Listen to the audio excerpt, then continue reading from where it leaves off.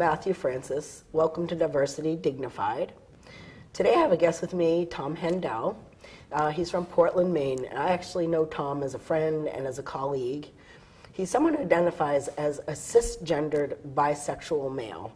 Although Tom has a real problem with labels, we'll be going into that a little bit. Uh, cisgendered is someone who um, identifies uh, the gender they were assigned at birth that is congruent with how they feel about themselves. Uh, and Tom feels a male, very masculine male. And bisexual means that he has uh, sexual fluidity with the people he is interested in. So, Tom, thank you for the show. Thank you for being here. Huh?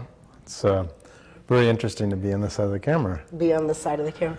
So, in because I do know you pretty well, and I've, um, I was always intrigued. I want to start off with sort of how in your childhood you, you engaged in some of your play. That, in, that interested me. You told me that you engaged in a lot of non-traditional play, meaning that you were, um, you were playing ho- with housekeeping and cooking and playing house and, and that sort of thing. Would you mind getting into that? Yeah, right. Um, well, uh, it, it, was really uh, something that came up a lot later on when my parents showed eight, mil- showed eight millimeter movies of me as a preschooler because uh, uh I used to ask for dolls and um, you know uh, ranges and refrigerators, the things that you play house with, mm-hmm. um, before I went to school. Um, in my neighborhood, and I grew up in New Jersey, and you know uh, the houses are a lot closer together, like maybe like downtown Portsmouth a little bit. But um, uh, the my uh, my friends that lived right nearby were all girls, and they always wanted to play house. So I guess, and it's it's really hard for me to remember what happened because I don't. I'm not sure if it's what I remember or what I saw on the eight millimeter oh, films okay. and what my parents talked about. But um, uh, they always, I, you know, I was the only boy among a bunch of girls, so I was always the dad, and we would play house, and that's what I was interested in. And then when I went to started going to school, kindergarten, and that sort of thing, and uh, you know, I'd walk to school to St. Cecilia's, and I met um, uh, friends who were boys that were my own age that lived further up the block, and I was expanded my universe. Then I started to ask for different things, and then I thought I would be a fireman. And, uh, you know, uh, um, a cowboy was one of the things I wanted to be. So I'd ask for toys that were like that. Okay. But I know you were interested in that, and it was really, um, it actually, I think I shared with you later on when I was a junior in, in, in junior high school, and um, I was on the Little League football team. And I, I like football because it didn't require as much um, agility to be on the line or, you know. Have that sort of kind of a position, not, not, not throwing or anything. I always kind of, that's another thing that would be, I guess, non-cis is that I never felt like um, athletically coordinated. And, um, and so I was really enjoyed football because I didn't have to be. And uh, the coach, one of the coaches, the, uh, the youngest coach, was uh, delivered pizzas and was delivering pizzas to the people who lived upstairs. And my parents asked him to come into the house while we were having dinner, and um, and because they wanted to talk to him while we were eating dinner, and and they said to him, you know, we're really grateful to you for having our son get, get so excited and involved in football because when he was a little kid, he used to play with girls' toys and all this sort of stuff. And, you know, of course, in junior high school, I just wanted to fall, fall through the floor. I, I was like, what are you doing? You know, um, and that's, I think that's more like I, I never, and I guess I never realized. I mean, I just always thought, okay, you know, they were being progressive parents. They were going along with whatever I wanted. It's okay. You know, when I, when I started, you know, when I started in school, I started to ask. I remember I asked for an engineering set because I thought I, I thought of uh, I wanted to be a train engineer, so I thought that meant getting trains and stuff. And they got me these construction toys, which were fine. I played with them and I liked them, but they weren't what I wanted. But but that was a different type of toy than what I played with before. I knew there was a difference, and they used to show those things, and people used to laugh when they saw me pushing the doll carriage in the eight millimeter movie. And I got a little red face, but I thought, okay, you know, that's just all right. But when they did that in front of my football coach, I was like, oh, so that's a problem for them all along, was it? You know, so that was a little so, took me back were, a little when you were playing in the non-traditional play, what the this was really then ju- it wasn't that it was your preference. This was just to have friends. This was because I thought when we were talking in the past that you I would say it was my preference. I, I would say that I enjoyed it. I, I, I didn't like, oh, I'm getting this because I have to. I didn't see anything wrong with it. Mm-hmm. You know, that's what I was doing at the time, I suppose. I, I don't remember having any negative feelings about it at all. I never thought, you know. And so going into football was something you wanted to do. Yeah, I mean, and there was a lot in between. I mean, you know, I, I- think that, that, that my preference for toys, uh, if you really want to get into that, was um, I remember there was a, uh, there was this play set. It was it was like a town, and all the things, the cars and the people in the town had little magnets under it, and you had mag- magnetic wands, and you would push them along them. This thing, a lot of like the opening of Mister Rogers or what. I loved that toy. There was another thing called Showboat. Um, uh, that, that, which was, uh, you know, it was a showboat. It was, it was a thing with a stage, and I always liked theater. I still do. I'm involved in theater, and and you would have these little characters that would play on it. You know, um, those weren't typical things that other guys had. Um, and I remember having, um, you know, like uh, the gray and the blue uh, soldiers for the Civil War, and they would be all kinds of things. I mean, they would be soldiers, they would be families, they would be anything. I would make up stories and use them. So I think it was. Uh, I, I was. I, I think a lot of my toys were non-gender specific necessarily. Um, I, yeah, I, I, I, it, you, it, it depends on the, what, what period of my life it was and that sort of thing. But um, So when you went into football, some things that you had told me that you had been bullied. I thought you had been bullied and, and called names, fag. well, I, you- you're, you're saying football, but um, actually it was uh, like Little League, uh, basketball, and baseball. I wasn't very good at. And I experienced, you know, I experienced a lot of things that I thought, you know, that, that kept me away from it, you know. And um, my brother, it was just the two of us. My brother was, you know, like uh, two months, two, two years older, and uh, he. Um, he seemed to excel to me at sports and I didn't, so I shied away from them. And when it came time to choose sides for a team or something, I usually was chosen last. And my, my brother was uh, overweight and I was very skinny, I was very underweight, so I felt kind of awkward about that. Um, but then later on in life, my, my brother said to me, I think we might have been in high school or college, he said, you know, you know, when I was trying to, you know, starting with sports when I was little, you know, trying to get into little league or football, you know, uh, basketball or whatever. Um, guys called each other faggot or whatever they were messing up. That was just the thing that they did. At least in New Jersey, that's what they did. And so, like, uh, I guess I was just more sensitive than he was, and that made me pull away rather than, okay, I'll show them, I'll keep on trying, and I'll be better. You know, I didn't really see any need for it. I'm not really that much of a competitive person anyway, so it wasn't in me to be well, I shouldn't say I'm not that much of a competitor, but there's some things I am competitive about. when I'm driving, I am. But, but, um, but in terms of sports, I mean, and that would be one thing that, you know, when you call cis, whatever it is, I don't fall Yeah, maybe we'll go back to this. So, for a lot of folks with gender, that seems to be sort of identified around three or four. Most people do. Um, I'm interested then, since you're, we're going to focus more on your sexuality. Can you tell me when you felt that you were maybe fluid about that?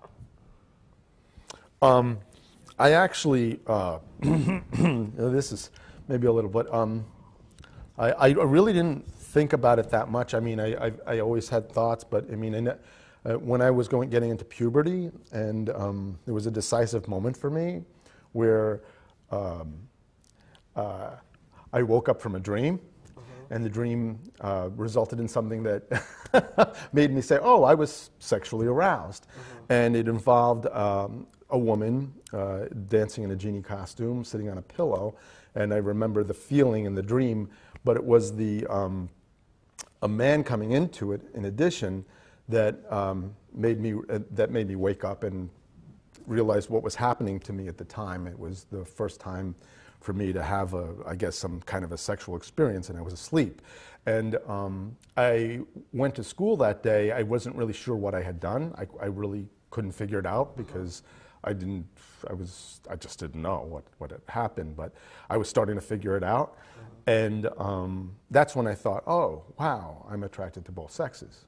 That's, that's when, and then looking back at my childhood and the things that, that happened before that, um, you know, that, that was, it was pretty, then I, then things added up. But um, up until that point, I wasn't really thinking about how I felt about different people as, as a, About how old were you?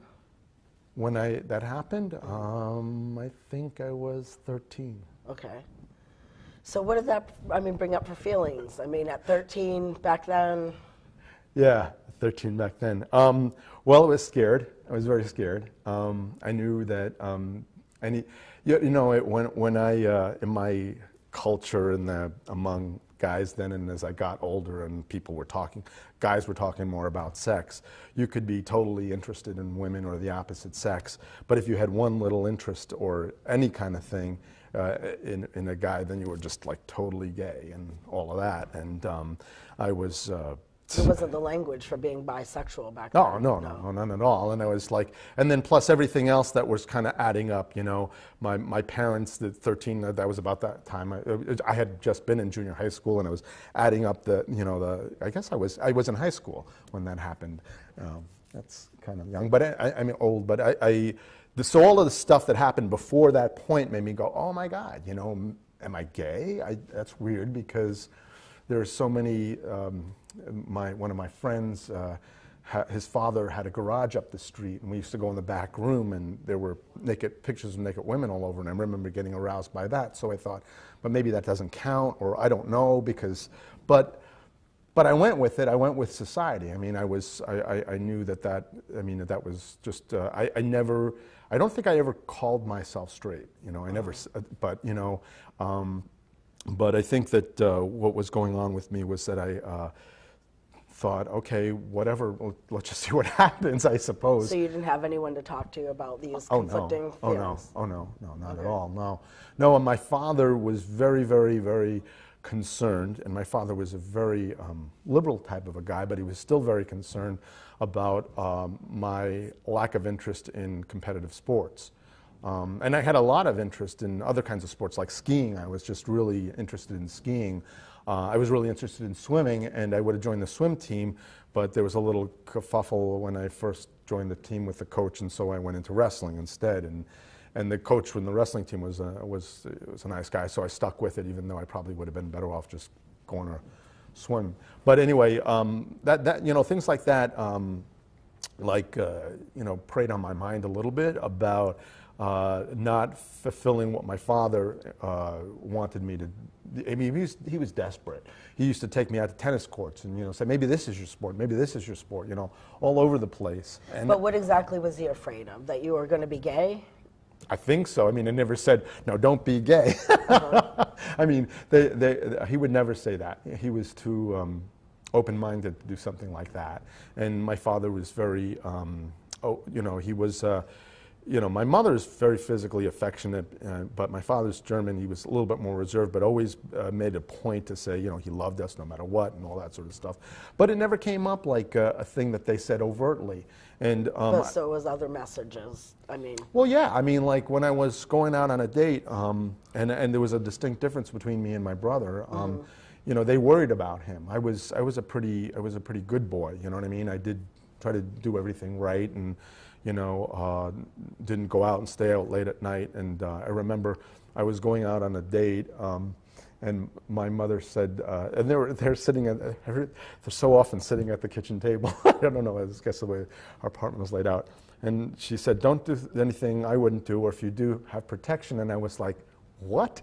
you know what I mean? Because I wasn't even thinking in, in those terms. But they, but I mean, um, I could see now that they were worried. Yeah, okay. they were worried that, yeah, like, I hope he does something I wouldn't do, sort of thing. Okay. You know, so it was it, there was it, there was that, you know, and. Um, so what did you do about these emerging feelings? They come out. they come out at thirteen. You, you're hearing the messages, not subtle. Sounds like subtle messages. Uh, um, what what happens more in high school when you start having more feelings? What do you do with them? Well, I deal with them in private. Uh, you know, I, I, wouldn't go into detail about that, but I mean, I think most people do. I mean, they, they, they deal with it. Um, I, I, I, didn't, uh, I didn't uh, date anyone but women or girls, you know, uh, of my own age and that sort of thing. As in high school, went to my prom and all that sort of thing. I had, I had um, friends that were both uh, boys and girls. Um, one of my best friends for a while was, was Cindy King. I oops, I don't I shouldn't want necessarily, but, but I remember being very, very close with her and, and we, we, we got, almost got to the point where we might have gone out. I'm, I'm not sure, but, um, but then um, I, I just didn't, I, I, especially where I grew up in Kearny, um, uh, I didn't really feel comfortable being um, with the social group that there was. You know what I mean? With that, that uh, there was there was expectations I didn't understand. I was very sensitive. I I used to blame other people, but now I could see it was just a function of my own personality at the time that I was really just better. I, I felt more comfortable. Um, uh, you know, hanging out by myself or with uh, just a couple of other friends or going out with a group of people. I didn't really feel, uh, I felt like it was like, it was insurmountable thing to, uh, you know, to, at that age, I, I, did, I did want to have sex, but I, I didn't know how to uh, approach a woman for it or, or felt like it was um, right to, you know. I was, uh, had been practicing Catholic all my life and thought, you know, I'm doing the right thing, I'm doing the good thing, and all that sort of stuff. Although secretly, I would have would have welcomed the opportunity to try it, and that didn't happen until I got into college. Can you talk more about that? College? Yes. Well- because that's that's you're you're getting away from your family now. You're hearing more different messages. Right. You had gone to a progressive school, Colby. Col- Colby, Yeah. uh, progressive? Okay, I don't know. know. I don't know about progressive, but it was uh, you know liberal arts college, um, and um, I, I uh, quickly yeah I quickly lost my virginity. If I can say that um, there, and I, I had a lot of friends, a lot of friends at Colby. It, it- I was much more um, socially. Uh, I became more of a social person at, at college, and I had no trouble getting to know women, and, and, and having sex was didn't seem to be a problem, and it seemed And what be. about with men as well? Or No, no, no, no not, nothing with men, but um, I, I did, I was, uh, uh, I was attracted to one of my friends, you know, one of my really close friends, and I didn't suspect for a minute that, um, you know, that he, he was uh, inclined that way at all. So it never came up. It just never came up. I just stayed away from it. And I had been, you know, propositioned by guys, but I wasn't, I just didn't happen to be attracted to them. And but were you feeling like okay, so you weren't attracted to the guys that were interested in you, but were you were your feelings for men at all formulating more strongly, or I mean, were you wanting to check out that part of yourself? Oh yeah, oh yeah, oh yeah, definitely, definitely. Um, it just didn't. I didn't. Again, I didn't know how to approach it. Um, uh, you know, and it was scary. It seemed dangerous. Uh, it just like for all the other reasons, and then also um, there was the issue of how, how, how about the other part of me? How about if, you know, I'm still coming from a mindset or from a, the thinking that, you know, if you're just a little bit gay, you're all gay, you know, and then, then that would eliminate my interest in women, you know. Oh, so, okay. So it would. So it- you were coming from this either or con. You could either you had to be either heterosexual or you had to be gay. Yeah, yeah, pretty much. And and I definitely, I, I you know, I, I actually uh, wrote this down, and my um, wife, I wound up reading it later on, and my ex-wife on that the reason, the only reason why I married my wife and got together with my wife is because I, I, I loved her. I, I, I, she was somebody that I loved, that I was attracted to, and um, I would, and I said in this thing that I wrote to my kids, I don't know if they ever read it, that you know, if I had met a man that I fell in love with at that time, I would have done the same. I would have considered myself gay, and then that would have been it. But uh, when I met Andrea, and I thought, and I believe, and I, bel- I was very interested in monogamy, um, that, that that was be it. And then that's it. I was happy, I was satisfied, and it was. Um, you know, when when we when we met in college, we were just friends, and we stayed in touch after college, and we didn't um, actually become start dating and, and, and having a sexual relationship until a couple of years after I graduated college, and then pretty soon after that, we were married. So how did you reconcile that you weren't either or?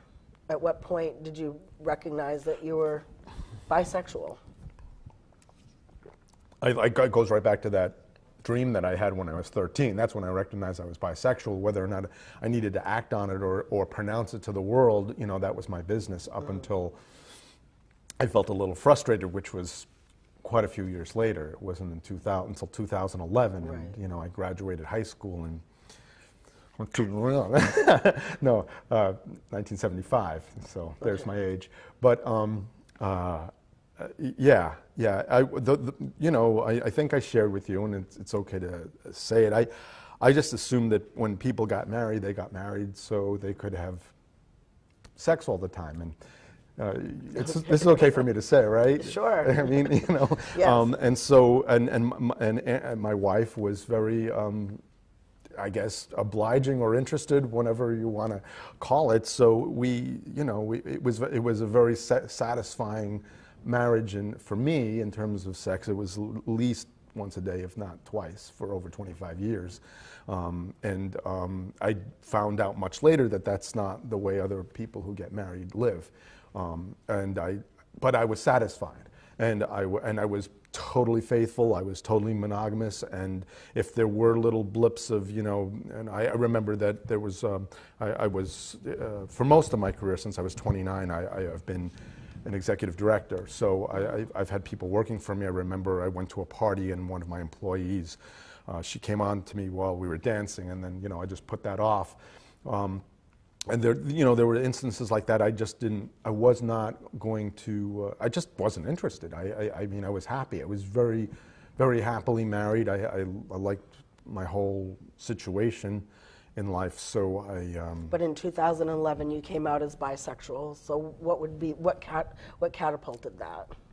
Well, yeah, that's that's uh, that, that, what what catapulted that was actually the fact that um, there were a couple of times um, where somebody I had known, a friend of mine, uh, uh, was. Uh, it seemed to me that, that I actually now a guy that I was interested in or f- felt attracted to um, was um, I thought was was interested in me, and I. Um, we were in a couple of situations where that something could have happened, and I just couldn't let it happen because I was married, and and and it wasn't overt. It wasn't overt. I, I was sensing it, but I didn't. I, I know the conversation was leading in that direction, and I pushed it away on purpose, um, because again, you know, I just was very sold and committed, and, and I love my wife. I still do, and. Um, so uh, I was uh, that that was happening, and at the same time I was feeling some frustration. This is going to make people really not like me, but um, because because uh, it was becoming uh, for Andrea less frequent. Um, we maybe only three or four times a week, and that was different for me. I know that that is that's a lot still for some people, but for me it was different, and things were changing, and I didn't quite understand it. I mean, I was you know it was uh, during uh, you know whatever that period when you reach middle age that we go through. And um, so I, uh, I was, I was in, in, a, in a quandary about what to do. And I thought, you know, I, I, the one person I could, I've always been able to talk to was Andrea. So I thought, um, and, and I had actually, I had two years before this started to see a therapist because of the infrequency of, um, of sex was making me uh, angry. And, and I had other anger issues, and I felt like this is my problem, not hers. I need to see somebody, and I started doing that. So I tested out saying or identifying as bisexual to my therapist. And then when the world didn't end, I, I, um, I, I, I, I sat down and talked to Andrea about it. But I guess I'm confused listening to you right now. Is this about the frequency of sex or who you were attracted to? Both. I mean, you, Both, you, you asked me what the impetus was for me to, to do this. And being satisfied just, just eliminated the need to, to explore anymore with anybody.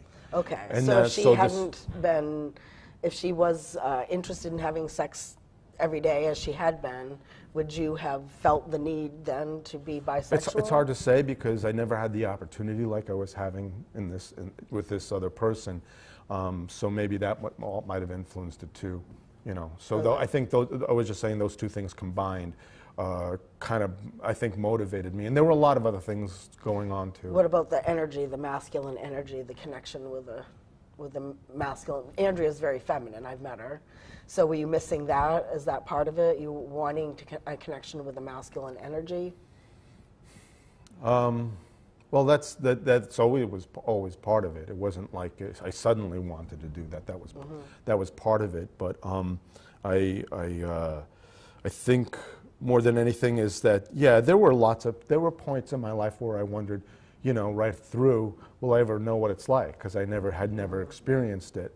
And I uh, certainly felt like with my period in college and afterward, before I married Andrea, that I had really, you know, was satisfied with um, you know knowing what it was like to have different relationships with women, and so that was that, you know. Um, but I really hadn't uh, uh, at all experienced it. So I wondered, you know what I mean? It was a big question mark. I wanted to find out what it was like, and um, I wasn't willing to go as far as to do it um, in a clandestine or, you know, in a way that was. Um, was uh, you know like behind by, by lying or cheating or going around no, you, t- you were straightforward with her. Right. I figured I figured we could talk about it, and I could have somebody to talk about it with. Mm-hmm. I didn't expect her to have the response that she did, um, and so I didn't figure that it not, anything would come of it than having somebody to talk to. Okay. So since then, you've been with men. How does that feel? Does that feel all right with you? I mean, I don't even know where I'm going anymore. Yeah, you're flash forwarding a lot. Yeah. Because um, uh, I think you know you might you probably already know, but we haven't said it yet. That it, Andrea said after after we talked about it for a couple of weeks, and she was very very open and very interested about it. She wasn't negative about it at all. She was you know wanting to talk about it. That she said it was okay for me to explore. Okay. And that was like, whoa, really? I mean, wow, you know, to the point where I could go to this friend and say, is this what's been happening? And he said, yeah. And he said, well, do you want to, you know, whatever. And we, we, we went from there. But um, uh, it gave me the opportunity for a period of time in my marriage to, to see what that was like.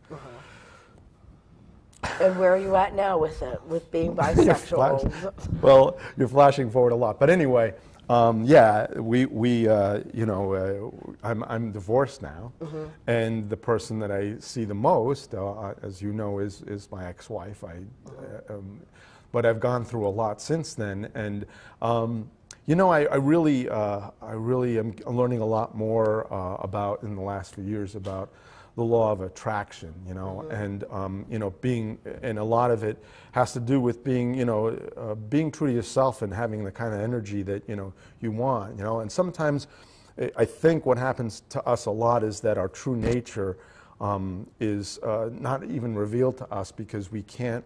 We, we have these uh, temptations, these interests, and that are that are in us for some reason, either by genetics or by experience or whatever, and we're and, and so we're hemmed in by society into a few set of rules.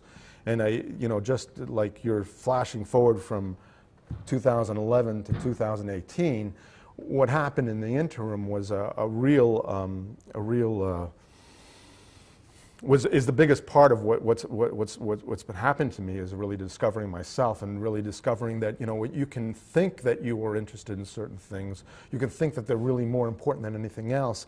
But if you always keep them at a distance and resist them they're always they're, you're never going to know. And when you do follow through with things you learn more about yourself and you find that they're not as all as important as you thought they were or what is really important or really who you are you know, and and uh, just to just to, to clarify, um, eventually, eh, you know, after after a few months of my exploration, um, Andrea, I, I, I was done. I was done. I was like, okay, you know, I've figured this out. I'm happy being married. I'm happy this way, you know, whatever. And then about a month later, uh, she asked for a separation because she said she really wasn't good with it. She didn't know herself well enough to say that, you How- know, what the feelings would really more. She thought she would be okay with my exploring, and now in retrospect, she isn't. And she needed time alone. And I was devastated. I just never thought that that would happen. I, I, I was, I thought my being honest without, you know, uh, just being open about it would be preemptive. I would do whatever. But um, I didn't, I actually had had enough counseling not to be angry about it, to try to be understanding and I moved out, and and um, I was subsequently rejected by my entire extended family. That you know, she not only on the day that she told me she wanted a separation, she also told me she had outed me to our entire family. So. Um, I, I, I am saying all this stuff, but uh, it, it was uh, it was cataclysmic for me. I, I moved out on my own and lived by myself for the first time, and I felt like I had no one in my life anymore. Where I had been, you know, well over 50 years, I had lived with the idea that I was totally surrounded by love, by all these people who now just totally rejected me. So I was pretty Devastating. yeah, I was I was at the end of my rope. You know, I, I really needed to. I, I, I identified that I had to pick myself up or do something in order to uh, you know turn the whole situation well, to survive, basically, not to, to, to just really quit uh, on life. So, um, so that, that um, made me do a lot of crazy things that, you know, um, that, uh, you know, helped me eventually learn a lot of things. And It took me through a lot of things. So, so I, I, it's, a, no, it's not an easy answer to just say, well, am I right now? Where I am right now is that um, I, I'm, I'm becoming more and more, uh, trying to become more and more aware of what makes me happy. Uh, to, to be more aware of the things that, that really uh, I can move toward, and that, that on a daily basis, um, one of the things that, but you know, I have to say that back then in the beginning, the things that really helped me out is that I, um, first time I was, I was in my own apartment on a Sunday, I went to uh, a Buddhist center at 8.30 in the morning, the Unitarian Church at 10 o'clock, and then Catholic Mass at noon. I was really looking for some answers, obviously. But I did, I did settle into, into Buddhism, and um, it, it, the meditation um, really has like opened my eyes a lot more to, you know, uh, myself, myself. Have you found any um, in the in the community, the LGBT plus community? Have you found any kind of support there? I sometimes feel the LGBT community can be split a little bit. A little bit, huh? Being bisexual is kind of a, a difficult position to be in. I think that I think um, gay men in particular don't believe in bisexuality more than heterosexuals do, but uh, and I don't quite understand it. I mean, I mean, I, I know gay men who who as gay men have had sex with women, so I, I and it always has been uh, kind of um, even being a little kid, it was always kind of. Uh, um, a mystery to me how people couldn't look at somebody and just say you know that that person is isn't attractive if um, if they happen to be the same sex. I mean, it just does- doesn't didn't make sense to me. You know what I mean? And um, there, when you, you get into an emotional connection with a person, it can it can it, for me it can inspire that. So I do understand the inability to under to inability to understand somebody else's attractions because they're not they don't match yours. Right, they don't match, Yeah, because obviously there's lots of people who purport to be strictly gay or strictly straight, and um, which is binary in its own way. you know, it's kind of a bi- it's a kind of a yeah, perfect point of view. Sort of you got to be gay or straight. And you're and you're and you're coming up and saying no. Hey, we're fluid. Sexuality is fluid. it is LGBT. Yeah, yeah. But the B isn't really, you know. I mean, I, I feel like I've I've been more discriminated against by gay men than um, than than than uh, you know heterosexuals don't challenge me that much. But there there's Mm-hmm. I, I, it, you know I'm not like walking around going, hey, I'm by everybody. You know. In fact, this is very hard for me right now because. I usually talked about you this in private. And now we have the TV cameras and everything, and you know who knows. But I mean, I'm, I'm I, I've decided to be okay with that. Mm-hmm. Um, the the thing is, is that um, uh, I I just I. I, I, I, found it difficult, you know, when I first started meeting other gay men, and, and, and I, I really wasn't exposed a lot to gay men or bisexual men, definitely, is that, um, you know, they're questioning me now about, yo, you're not really gay, you're just, a, a, a, you know, in transition from being married. Well, yeah, make up your mind type thing. Yeah. Well, yeah, yeah, yeah. make up your mind. I, I think I have made up my mind. I think my, my feelings have made up their, my heart's feeling made up. I mean, that, uh, you can't change the way you feel. And I would, I would say to them, you know, you're, you're a gay man and people are telling you to be straight most of your life. Why are you doing this to somebody else? You know, why, why are you doing that? And I remember going to a party. It was, um, they have this uh, Down East Pride Association. I haven't gotten any notices from them, but it was like a professional network, a mixer once That's a how month. we met. That's yeah, when we met is, is, uh, for LGBT, and um, I uh, struck a, up a conversation with a woman there, and we you know and, and she she identified as being bisexual, and evidently she was sharing some of the same frustration Yeah. with lesbians that she had known that they challenged her about really being bisexual. So it's like maybe it isn't just gay men. I don't think it is. I mean, I actually, because we did go together, and I was the only transgender person there that I and I didn't even know you were tra- I, th- I didn't I know, know, you were transgender. but I remember saying so, and I had no niche to go into because it was sort of there was the gay men, and then there were lesbians, and then There were the few little bisexuals over here. There's maybe a couple. That's how I remember it. I don't see. I, so no- nobody has signs on them, so I can't tell. Well, they kind of did. No, I'm just kidding. Yeah, yeah, but I you're was, kidding me, But I was the only trans person, but it was clear that I didn't have a fitting. I, I wouldn't anywhere. say you were only trans person because if I couldn't tell that you were trans, But I was telling people. I had my pronouns out. I was all out and about at the time. yeah, but maybe somebody else wasn't.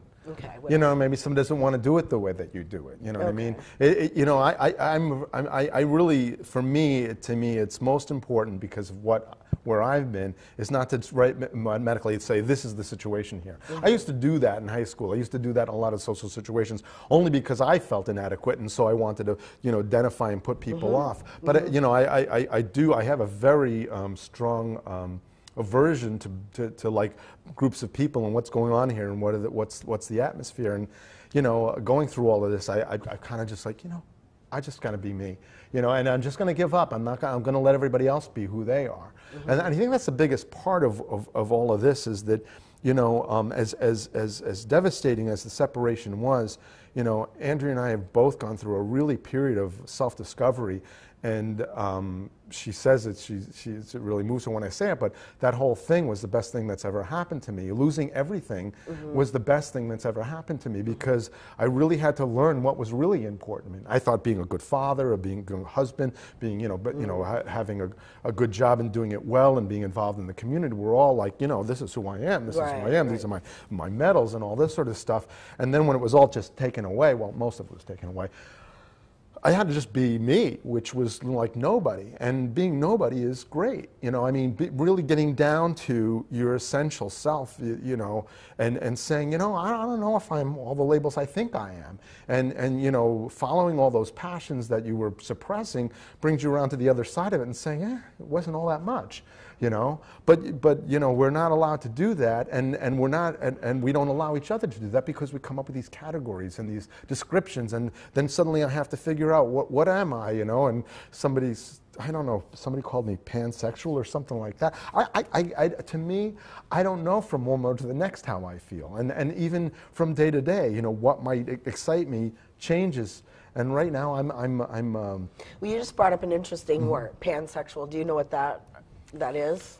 I just heard I it. I probably don't- should. uh, Yeah, I know, I've heard of it, but I Okay, just so my understanding of a pansexual person is that they do not care about uh, gender, gender identity, or expression.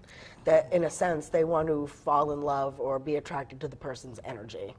So when they're calling you pansexual, I think in a sense they're saying you don't care about gender. I do. I Which actually, is slightly I- different than yeah, being bisexual. Yeah, I actually am attracted to women who are feminine. I am attracted to men who are masculine. I guess that, that Okay. would definitely. so what about a trans man? Would you be interested in, unless they, it's incomplete surgeries? I I got a, ma- know. I got a don't know. masculine energy, Yeah, yeah. I know. Uh, I, but I'm missing important accoutrement. yeah. Well, you know. Um, you're, you're, you're, you're, you're talking specifics here, and I uh, but anyway. I think I- our I- audience wants specifics. Oh, really? I think so. Okay. Well, um, for myself, and just speaking for myself, and this is one thing that amazed me about the gay community is I'm very not really all that interested in, in genitals. That's not something that I, I'm attracted to the body, and I don't know how important that is to say, but I'm attracted to uh, the. Could you be interested in a transgender man? I don't know. I don't really don't know. I, I've, never.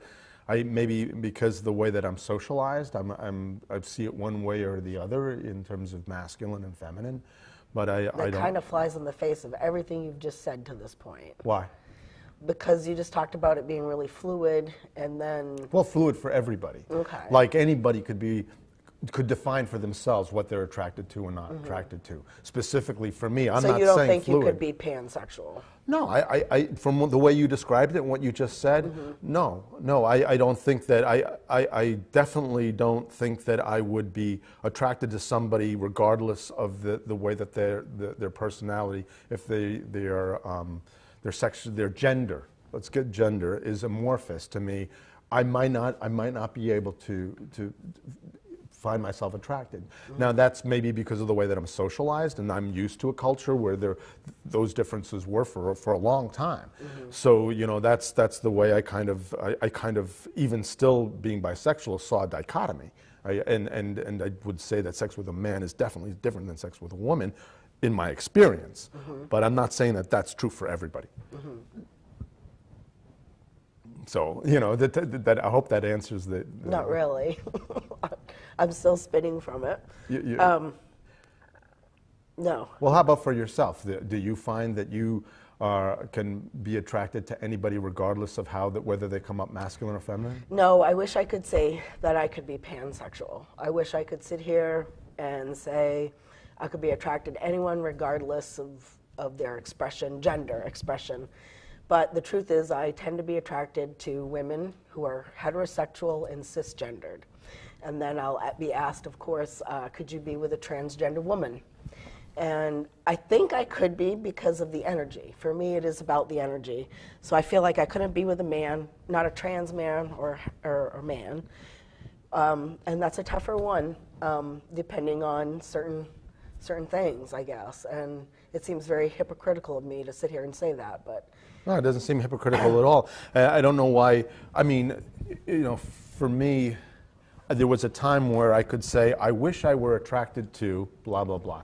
Or I wish I were just attracted to women, you know. Mm-hmm. That would have been, for a big part of my life, that would have been a real, you know, if I push a button, you know, that's, Right. what, that's what would happen. So I can understand why you would say that in, in one sense. But from what I know and from what I've found out about myself, it's better to move to where you feel best, where you feel best, where you feel right, and it might change over time, but you can't go to where you really are until you go to where it feels right. You know, yeah, I think you. I, I think that To me, pansexual is the right way to be, though. The person Mm-hmm. is, to me, what they're saying is, in a sense, I, I could care less about this sort of extraneous trappings, which, with our, which is what our bodies are to some degree. It's just superficial to some degree. I mean, say you're in love with someone and they get in a car accident, they become paralyzed. I mean, do you still love them or no because their body's not operating properly? Um, you know, You're talking about love and attraction, and attraction instigate can instigate love. But I think that, that that I mean I, I feel like oh, well, right now I'm going through a period a pretty pretty for me a significant period of celibacy, mostly because I've, I'm tired of sex without uh, some kind of connection, Mm-hmm. and um, and the uh, you know the, uh, the the connection is really makes makes uh, the the intimacy that much deeper, that much better. That in fact, um, you know, to, to, to go from from what I felt was a really strong connection with Andrea for years uh, to, to to having a lot of different sexual experiences with people was was uh, in one sense exciting but very empty. It just felt empty. That's It- just it- it- masturbation. It, just it, well. Uh, I don't think you were going to talk about that, but anyway. If you're just having but, but, sex, you're right. yeah, you're I right. you're right. Absolutely. yeah. I mean, there, there, but but to a degree, I, I mean, I really, for some reason, at the, my ripe old age, I had to learn that Mm-hmm. because I, I just, I, I, it was a mystery to me. But after all of that, um, I just really felt like, um, yeah, this is this is really not getting me anywhere. Right. And and of course, I, I, like I said, I felt like I was surrounded by love all my life. So I know a lot of that was a stupid.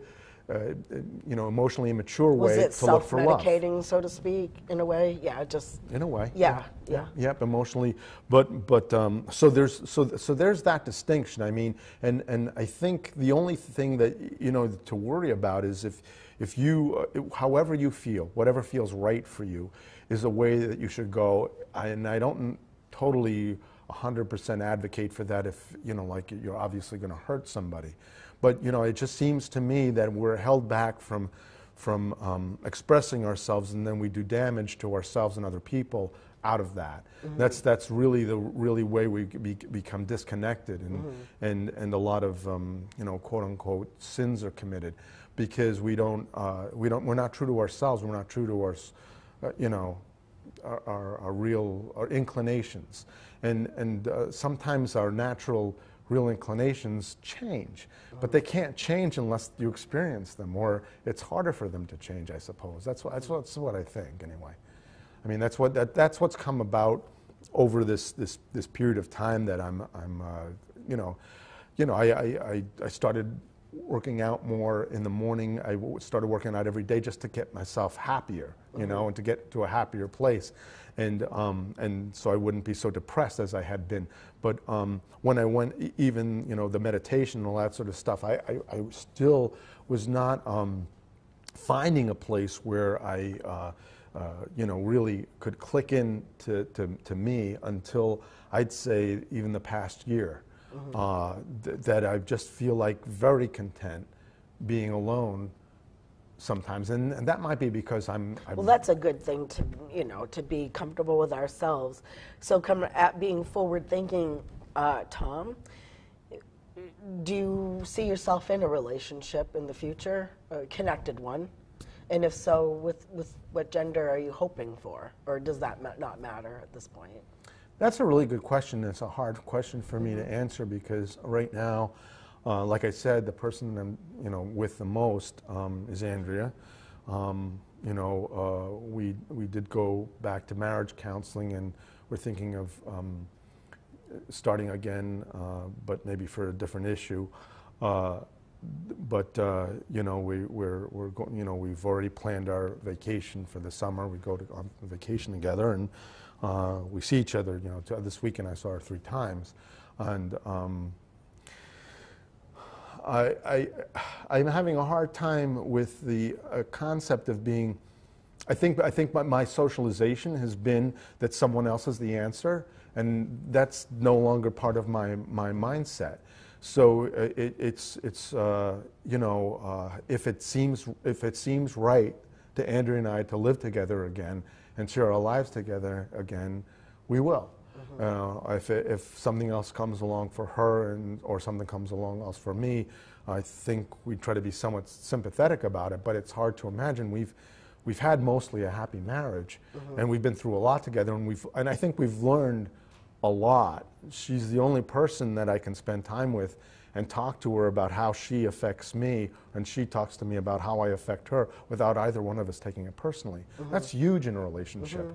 You know, uh, it's just it's just huge. So I can't see having that kind of relationship with another person unless they've been through somewhat something similar and know how to own their own stuff. You know, and and a, and a lot of it's that.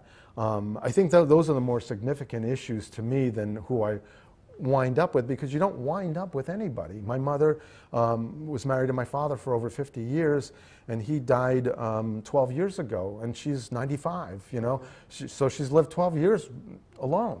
Uh, you know, it, there's no guarantee that that somebody's going to be with you all the time. There's no guarantee that they, they might be their interests might go somewhere else or take them somewhere else, regardless of whether or not it's somebody else. The, the the whole idea that somebody is an answer to your life is is is, is really um, sets sets us up. I think, and and that's not to say that. I mean, I still believe that my monogamous relationship, you know, uh, was.